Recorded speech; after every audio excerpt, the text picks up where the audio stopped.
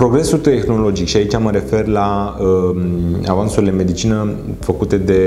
parte de imagistică, RMN-uri, tomografii mai performante și disponibilitatea lor pentru pacienți uh, a făcut ca numărul de probleme neurochirurgicale, și aici mă refer în special la tumorile cerebrale, să crească sau să fie mai vizibile decât erau în trecut. În trecut, datorită acestor limitări în a pune diagnostice, practic ajungeai să întâlnești pacienți care erau deja într-un stadiu destul de avansat, problemele lor manifestându-se vizibil uh, în viața de zi cu zi. Astfel, numărul de pacienți cu probleme neurochirurgicale cerebrale uh, și în special uh, mă refer aici la tumorile cerebrale, a ajuns să fie din ce în ce mai, din ce în ce mai mare și reușim în centrul, în centrul nostru să acoperim o gamă foarte variată de probleme de această natură care poate fi tratată și care poate fi soluționată uh, în clinica noastră.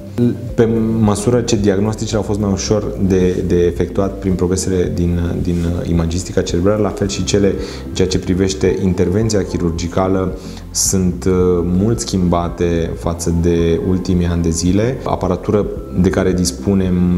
de mm, ultimă performanță ne permite să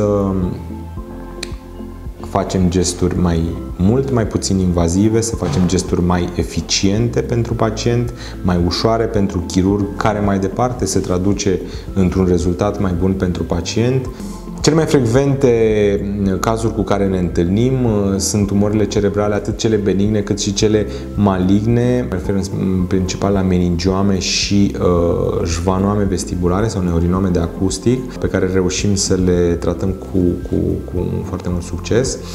Uh, dar, din păcate, uh, remarcăm o creștere mm, a numărului pacienților care se adresează cu tumori maligne, tumori cu un prognostic ceva mai prost, dar pentru care există soluții de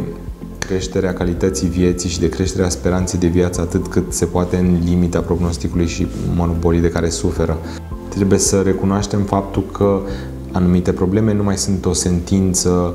care în momentul diagnosticului practic te trimite acasă cu, cu capul plecat și coada între picioare. E adevărat, în neurochirurgie sunt multe probleme care,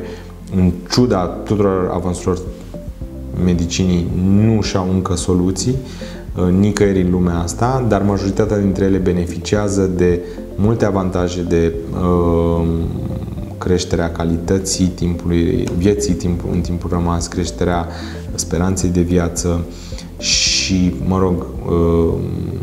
depășirea mai ușoară a acestor, uh, acestei perioade destul de dificile.